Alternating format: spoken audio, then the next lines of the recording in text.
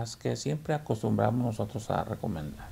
Revisión de sus cartillas de vacunación para que no exista alguna enfermedad concomitante con un proceso respiratorio, ya que de alguna manera también las enfermedades prevenibles por vacunación son algunas de tipo respiratorio, como la influenza. Entonces, primeramente, de manera preventiva, eh, completar los esquemas de vacunación.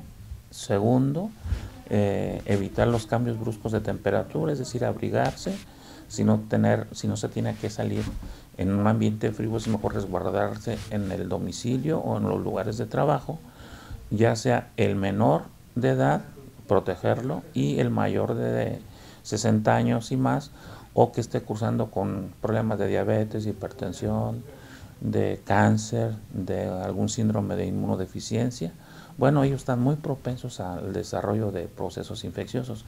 Sobre este grupo de personas y menores de 5 van a encaminar las recomendaciones.